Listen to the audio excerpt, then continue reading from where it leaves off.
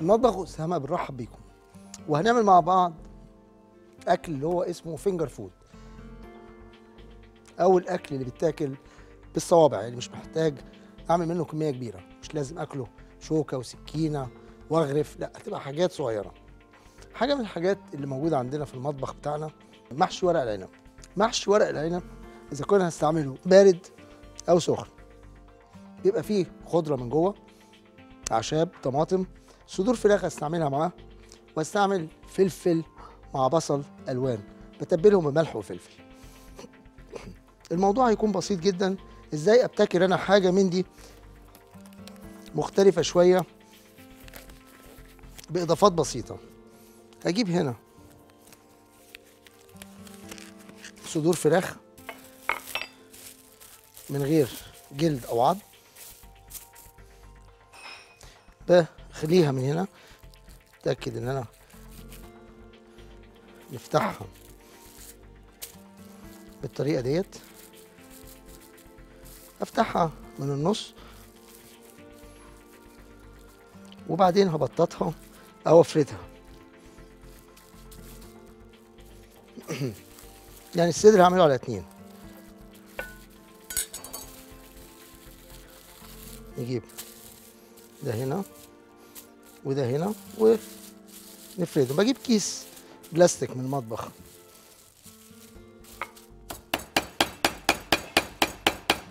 برقها جدا بخليها رقيقة. فدي أول خطوة. بعد كده باجي أتبل ده بشوية هنا.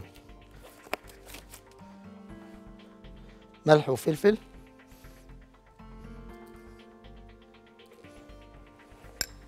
وبعدين نشوف نحشيهم إيه. شوية فلفل أسود. وبعدين بلبس جوانتي تاني اهو. ونبتدي نلفه.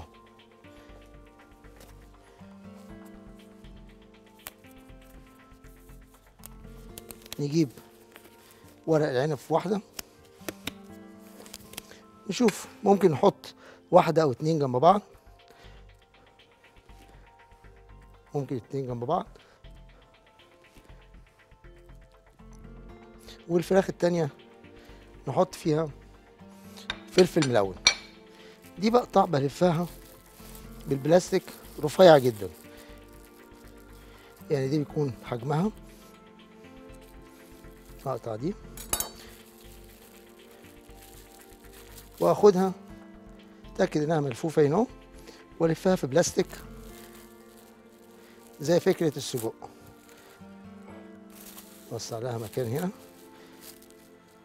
بس نتأكد إن كل حاجة جواها ومتغطية بالفراخ. لأن هو ده الأساس.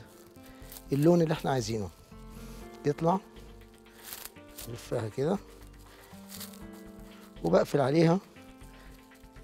خليها هنا على جنب. ورق العنب بعمله بنفس الطريقة.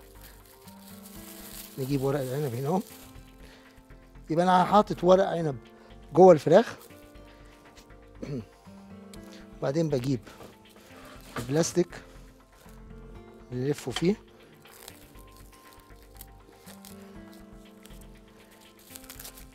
وبعدين هنلف ده في ورق ألمونيوم. يبقى عندي دوت الفكرة الأساسية هنا أهو. ألوان. فراخ لونها أبيض. جواها خضرة. أو الفراخ لونها أبيض جواها ورق عنب. للأمان هنا أحط ديت. بعد ما بلفها في البلاستيك ونقفلها جامد هنا ونقفلها جامد هنا وبسلقها.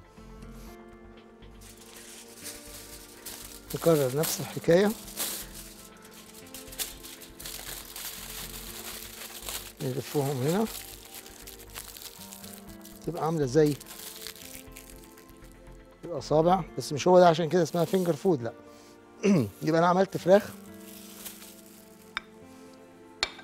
شوية من الخضار السوتيه حطيت معاه جبنة. ودول ممكن أعمل معاهم صلصة. نجيب شوية من الزبادي. شوية صغيرين هنا شوية نعناع. اتاكد إن السكينة اللي استعملتها للفراخ قطعت الفراخ. ما بستعملهمش تاني. استعمل قطعة جديدة سكينة جديدة.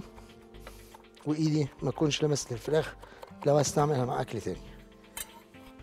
أحط شوية من النعناع. شوية تانيين هنا أهو.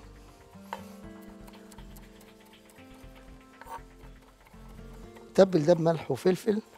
لو عايزين تحطوا شوية توم ممكن بس خلينا بنقول finger food يعني معناها حفلة. يعني معناها اللي بياكل آه هيبقى يعني في في أكتر من حد. فنبعد عن التوم في الحاجات دي. نجيب شوية ملح وفلفل. نتبلهم.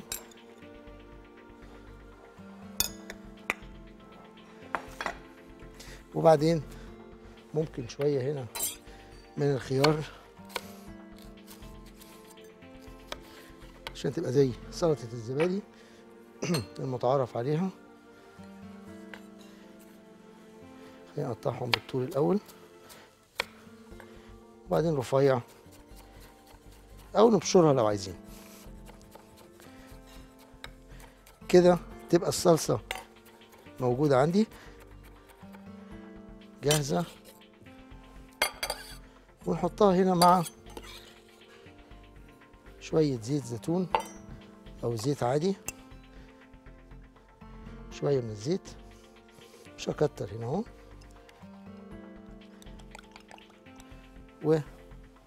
ونجيب اطباق اللي هنقدمهم فيها. خلي واحدة خضرة زي ما هي كده. حط عليها شوية نعناع. التانية تبقى حمرا. دي كده. كم قطعة نعناع. بس يكون طازة أحسن. شوية هنا من لون الأخضر. كل دي الحاجات الصغيرة اللي هتدي منظر للأساس عندي اللي هو ال finger food نفسه اللي هو إيه؟ نجيب. أطباق التقديم ونبتدي نرص فيه الفراخ اللي إحنا عملناها. عبارة عن إيه؟ فراخ محشية ورق عنب وفراخ محشية. تبقى حاجات صغيرة جدا. دي بتبقى نوع نجيبها هنا نحطها في الطبق.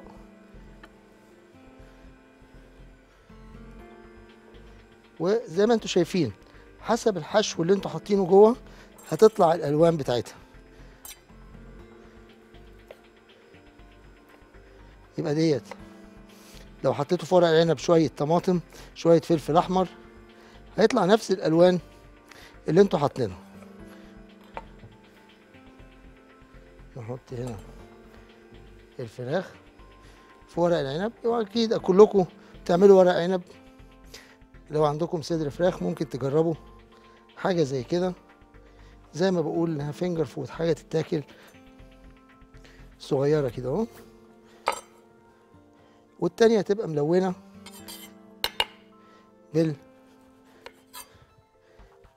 بالخضار اللي فيها. عشان كده اخترت إن أنا ما أحطش ألوان كتيرة في ورق العنب. يبقى كده أهو. النوع التاني. من نفس الفكرة اللي هي فراخ معمولة نجيب طبق التقديم. نحط ورق العنب هنا أهو. ونبتدي نرص الخضار بنفس الفكرة وديت فكرة اللي هو ال finger food أو الأكل اللي بتاكل بالصوابع. مش محتاج له إلا خلة ممكن أحط معاه خلة. نحط هنا أهو. الخضار فراخ بالخضار وحاجة بسيطة جدا مختلفة تماما وانتوا ممكن تبدعوا وتحطوا حشوات تانية مختلفة عن اللي إحنا عملناها. لكن الفكرة فيها إيه؟ عندي حفلة عندي عزومة بعمل finger food أحشي الفراخ حاجات مختلفة. صدر الفرخة ممكن يعمل لي خمسة يعني 15 واحدة. لو فتحته ورقيته زي ما فردناه تتبيلة ملح وفلفل. جربوها إن شاء الله. تنال رضاكم.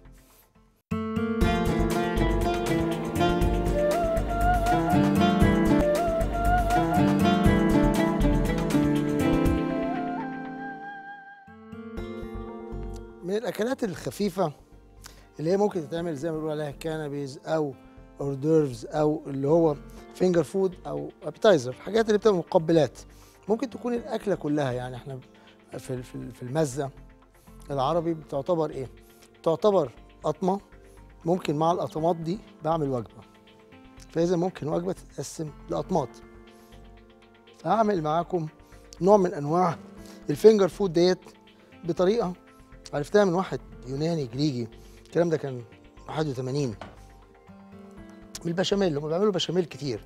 فعملناها بشاميل زي الرولاد اللي هو بتاع ال- الكيك.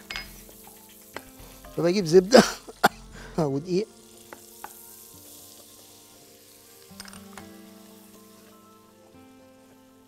بطبخ الدقيق في الزبدة. بعد كده هزود عليه الحليب. اتاكد بس إن هو ساح وداب. عشان طعمه ما يبقاش فيها طعم الدقيق. وبعدين اتبلها ملح وفلفل نحط جوز الطيب لو حبينا.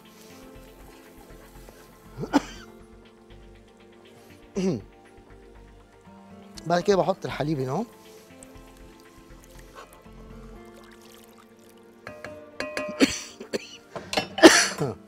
نقلب.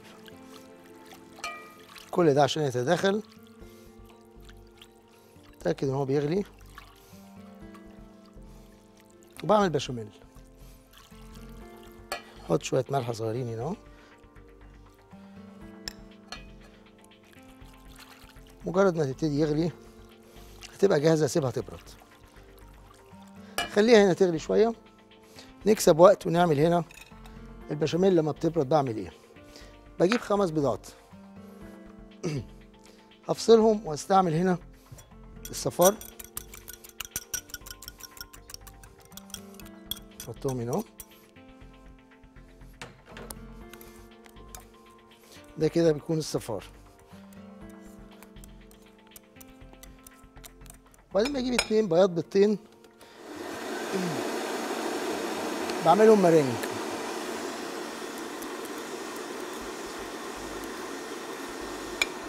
نرجع للبشاميل زي ما إحنا شايفين البشاميل كده جاهزة. فهي دي البشاميل اللي أنا عملتها وسبتها تبرد. يعني بعد ما بتتعمل أسيبها عشان تبرد. وبعد ما بتبرد بحط عليها صفار البيض.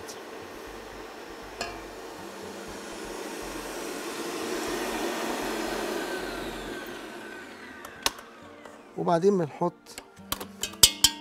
بياض البيض.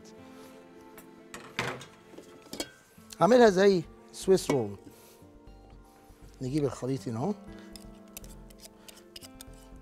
حطه على بياض البيض المضروب. اللي هو بقى مارينج. اتاكد إن أنا بدخلهم في بعض.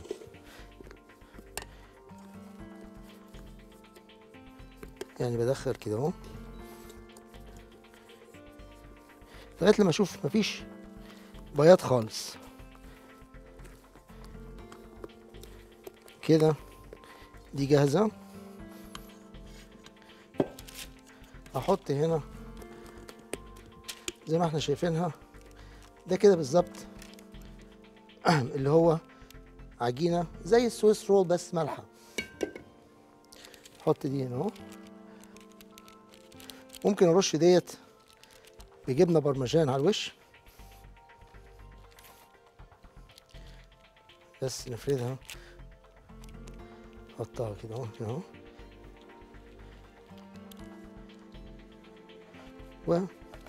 واحطها في الفرن. أسويها 350 أو 170 لمدة 15 دقيقة. لكني بعمل سويس رول بالظبط. ممكن أرش عليها جبنة برمجان زي ما قلت. و لما بتطلع ده بيكون شكلها. دي ممكن أعمل منها أكتر من حاجة. يعني دي تبقى سمكتها سميكة. يعني رقيقة.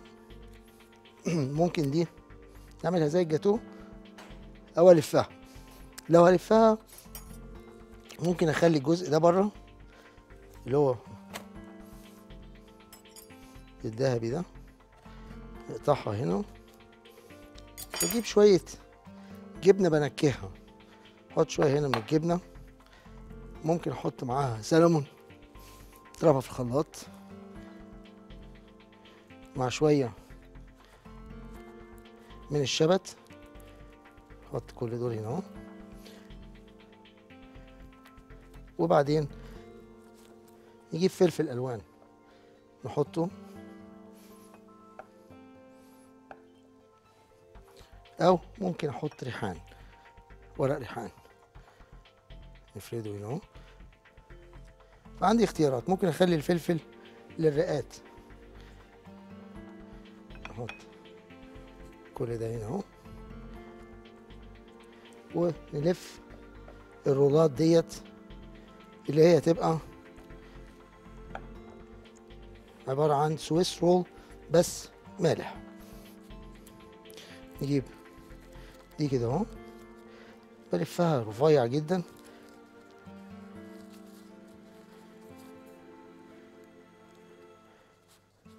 وآخد ده ونلفه في قلب بلاستيك. يبقى ده نوع. نجيب البلاستيك هنا. نلف فيه الرولاد نقرط عليه. يبقى أنا عندي هنا سويس رول بشاميل. خليه هنا. والنوع التاني هنعمله رقات. نجيب ديت نقسمها على ثلاثة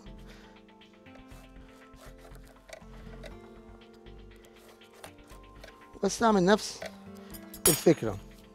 تأكد إن التلاتة يجوا فوق بعض. هنا.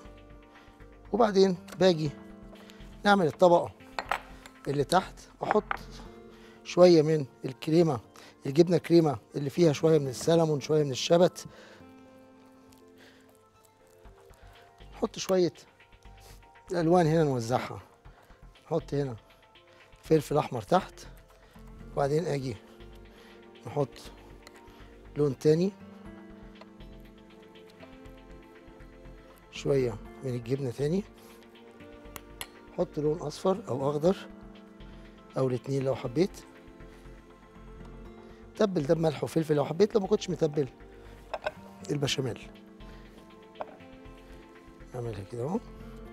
وبحط هنا أهو شوية صغيرة لكنه صمغ في الآخر. في آخر طبق يبقى دي رقات بشاميل. ده تبقى فكرتها. بحطها في التلاجة على أساس تتماسك. لو عايز أقطعها وأعمل رق تاني ممكن. ونبتدي نشوف شكل الجاتو دوت هيبقى عامل إزاي. ممكن نعملها رقات كتيرة نضغط عليها. هجيب طبق التقديم واقطعها زي الجاتو. أو ممكن أعملها سمبوكسات حتى. نعملها بالطريقة دي.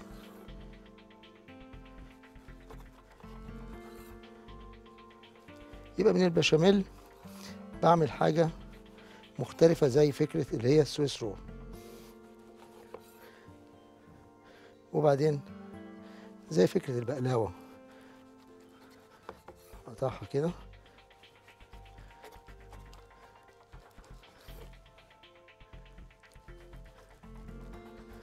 ونبتدي نحطها في طبق التقديم بس نوريكم كام واحدة هنا اهو.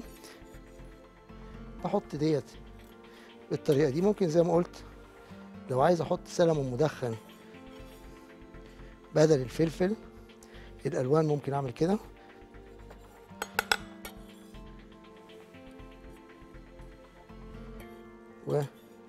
هيكون نوع من أنواع الجاتو المالح. خلينا نظبط دول هنا أهو. خليهم اللي بعدين بس نوريكم فكرة تانية لتزيينه. ممكن أجيب جبنة كريمة أحطها على الوش هنا أهو.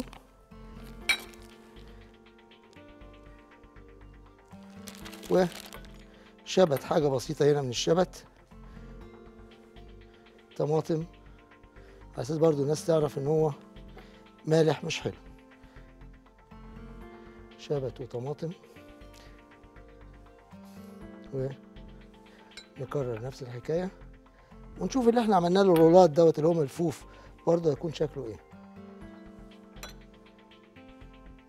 يبقى ديت جاتو البشاميل. لو حبيتوا تسموه كده. حاجة ظريفة جدا مختلفة. ممكن تقطعوه أصغر من كده لو عايزين. ونجيب النوع التاني اللي هو الملفوف. نجيب هنا الجاتوه دوت نحطه في الطبق. نخلي ده هنا جنبنا. واوسع مكان للجاتوه التاني. فانا لما بعمله ببقى لفه في بلاستيك على أساس يبقى سهل إن أنا أفكه. لو مش سهل ان أفكه. يبقى ماسك جامد لكن صعب إن أنا أفكه.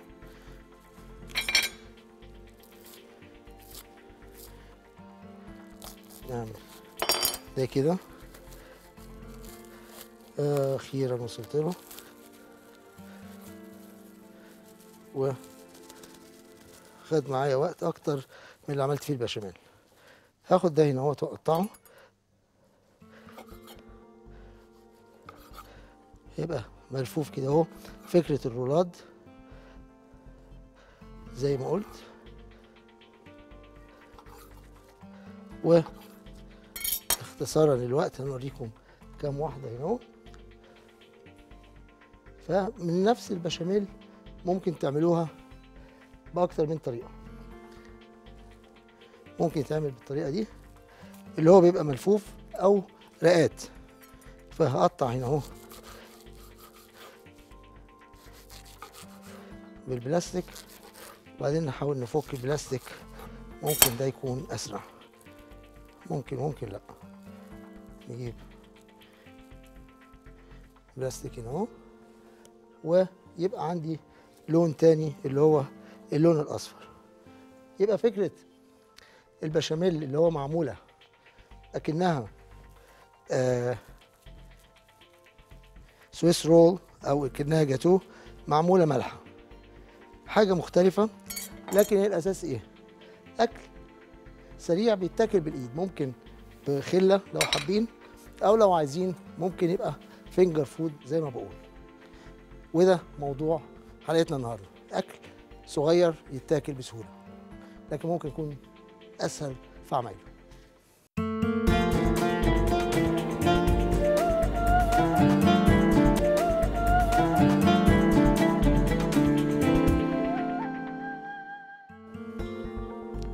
اكل بيتاكل بالصوابع.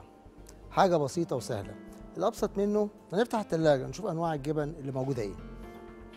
هنعمل توليفات من الجبن. عندي جبنة كريمة جبنة روكفورد دي هستعملها جبنة الروكفورد مع الجبنة الكريمة وهحط معاهم عنب.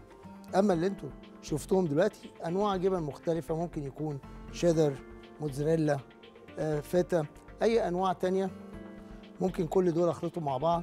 مع فلفل ألوان. يبقى هنا ممكن يكون أي أنواع جبن وبحط جبنة تمسكهم مع بعض اللي هي جبنة الفتا. جبنة كريمة وفتا مش أكتر من كده. نوعين من أنواع الجبن اللي هو هاكل إحنا تملي جبنه وشمام. فهجيب شمام وأكوره ويكون هو الحشو. ممكن دي تكون كور بطيخ لو حبيت. فهنبتدي نعمل التوليفات بتاعتنا دي بطريقة سهلة جدا من أنواع الجبن. لو بحب الجبنة. الروكفورد هكتر. فهي نسبة وتناسب. نحط هنا قطعة من الجبنة الروكفورد ومعاها جبنة كريمة. بس تمسكهم في بعض. فده يبقى العجينة أو الخلطة اللي أنا هبتدي بيها. نعمل أول حشو. وبعدين هاجي هنا. هجيب شوية من الجبنة الكريمة كصمغ ألزق فيه شوية من الشيدر. شوية شيدر طعمهم قوي لونهم أصفر مختلفين. شوية من موتزاريلا.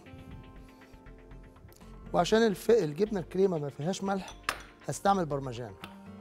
وانتوا اعملوا التوليفة اللي أنتوا عايزينها. بس راعوا الحاجات الصغيرة دي. ديت بخلطها مع بعض.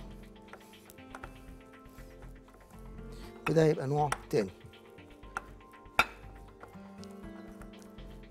حاجات بسيطة جدا. أفكار بسيطة بس بتلاقوها في الحفلات. وبعدين هنعمل نوع تالت النوع من الجبنة الفتة. مع شوية جبنة كريمة. دي هتبقى طرية شوية. نحط مع شوية جبنة كريمة صغيرين. وزي ما قلت إحنا بناكل جبنة وشمام. فيجيب كور شمام. ويبقى ده الحشو. نجيب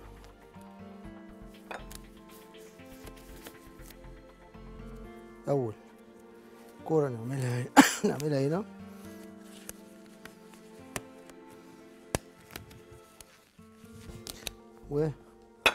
وباخد شوية من الجبنة. بعملها زي كورة. وأحط في قلبيها شمامة. قطعة من الشمامة. وألفها. وأحطها هنا في فستق. يكون مجروش. ناخد واحدة تانية هنا اهو. بلف الجبنة. وبحطها في فستق يكون مجروش. زي ما قلت كل نوع هيتفاوت الطعم بتاعه. بعمل له توليفة مخصص يعني تمشي معاه. بعملها هنا اهو. والكور دي بعد ما بعملها ممكن نحطها ونسيبها في التلاجة. يبقى ديت كور بالفستق. وبعدين هكرر هنا مع الجبنة الشيدر والموتزاريلا. حط معاهم شوية ملاها كورة كده فلفل ملون. نحشيها هنا أهو. فلفل ألوان. فواحدة معمولة بفاكهة واحدة معمولة بخضار. وبنقفل الكورة هنا. ودي أنا شايفها ممكن تتماشى مع بقسماط بسكوت. بجيب بسكوت وأطحنه. وأحطها في قلبيه دقلجها. دي تبقى فكرة تانية للكور دي. وبعدين آخر واحدة هنا هتبقى اللي هي الجبنة الروكفورد دي أشهرهم وأقدمهم. تبقى جبنة روكفورد مع جبنة بيضة. حطها هنا أهو. عشان هي بتبقى طعمها قوي شوية. حط معاها عنب. نجيب عنب وبقفلها هنا اهو. وبلفها ودي ممكن احطها مع عين جمل. شوية عين جمل بتحمص ودول بتكون الأفكار بتاعتنا اللي هي عبارة عن كور. من الجبنة؟ بلفها. بعد ما بحشيها بلفها يا اما في مكسرات في فستق في بقسماط أو بسكوت. بمعنى أصح. وبسيبها ديت تتماسك. دول بيكون الشكل بتاعهم. طبعا مش لازم أقف. أعمل كل ده قدامكم. لكن هي دي الفكرة. لو أنا جبت اللي بالفستق وقطعتها شكلها اكن بيض. يعني أنا تخيلت الشكل وأنا بعملها إن الشمام أو الشهد هيكون لونه أصفر الجبنه هتكون قوية. نحط دول هنا أهو. اللي هما باللوز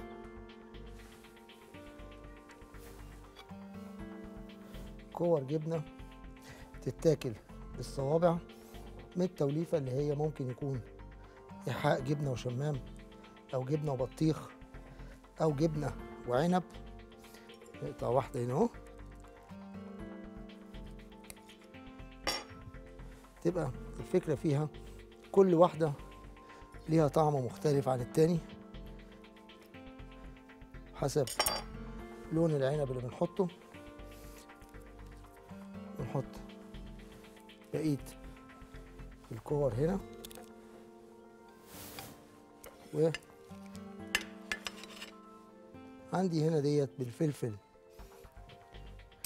عشان اللون العنب ما يطلعش. وفيها بقسماط. فتبقى ألوانها مختلفة شوية.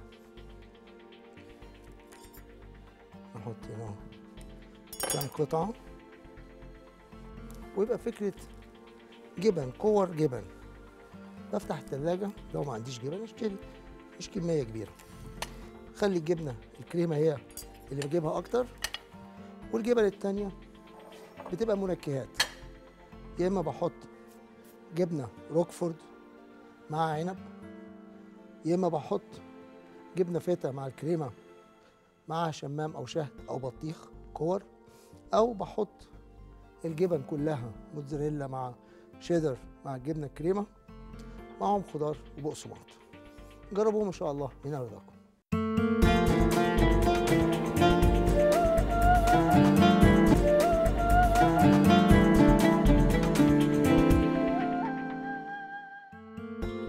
أهلا بيكم من مطبخ أسامة. هنعمل حلو سهل وبسيط. هنعمل جيلو. الجيلي الجاهز اللي بتجيبوه. حسب العبوة بتقول لكم إيه. تتبعوا الخطوات تحطوه على مية سخنة. سيب ديت لغاية لما تبرد شوية. هعمل منها كذا لون. هعمل منها ممكن المانجا ممكن نحط كيوي حسب اللي موجود. اسيبها تبرد شوية ودي هصبها في كوبايات بس مش هملاها. نحط هنا طبقة أولى من الجيلو. فأنا هعمل جيلي وهعمل موس والاتنين بيبقى داخل فيهم الجيلاتين. بجيب جيلاتينة بدوبها في مية وديت هتبقى الأساس بتاعي في الموس. هعمل موس شوكولاتة عبارة عن شوكولاتة سايحة. ممكن أجيب شوكولاتة أحطها مع حليب. زي فكرة الجناش.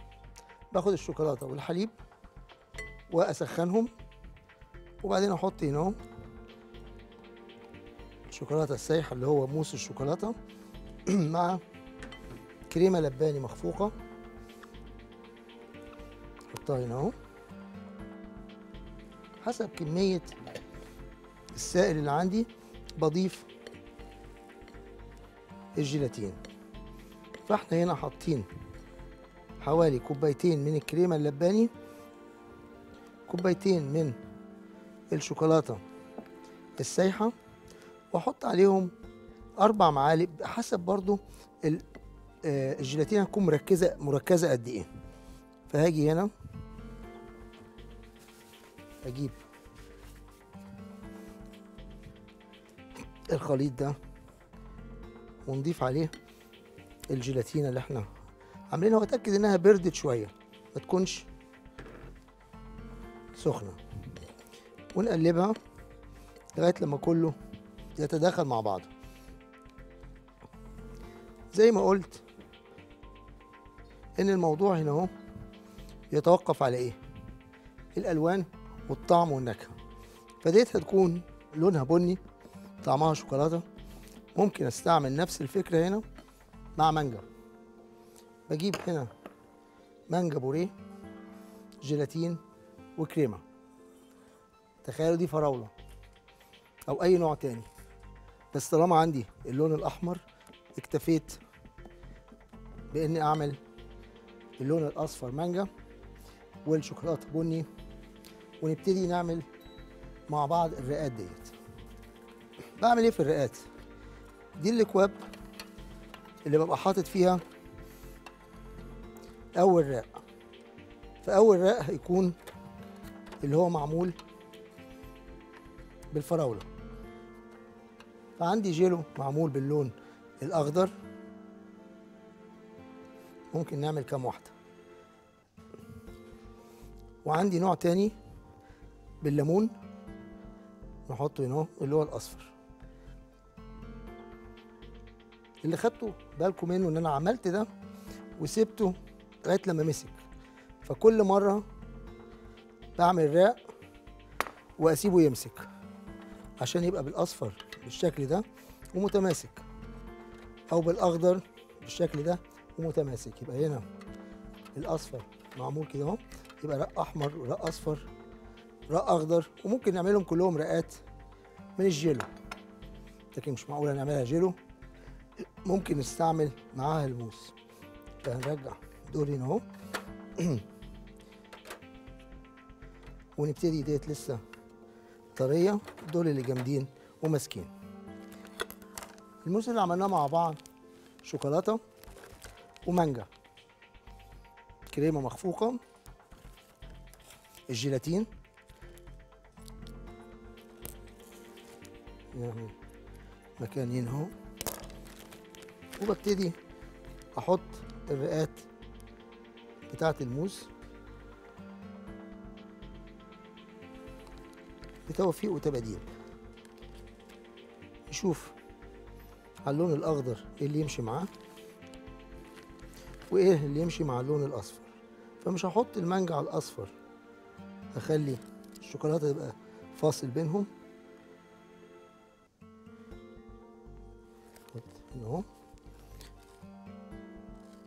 وبعد كده نحط شوية من الشوكولاتة.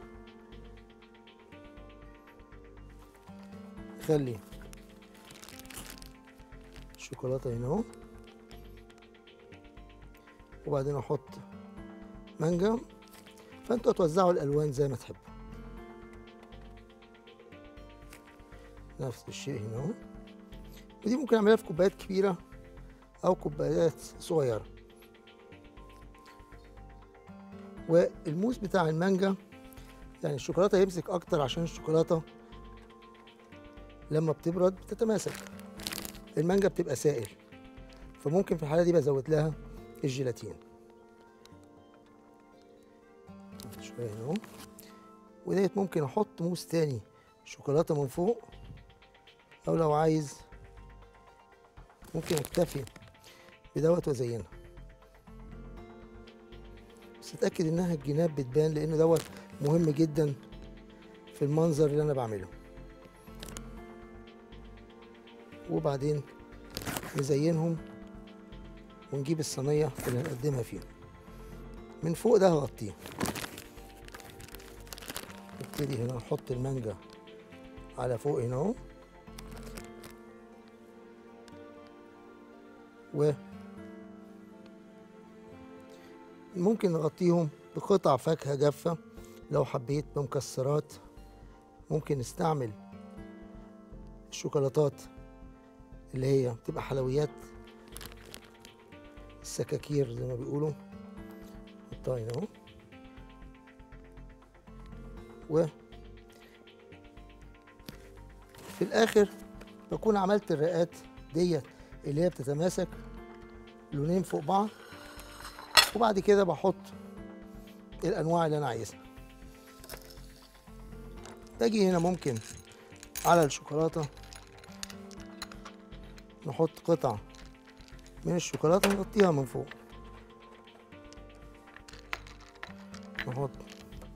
قطع هنا اهو. أو اختار نوع من أنواع البسكوتات. يبقى في حاجة مقرمشة.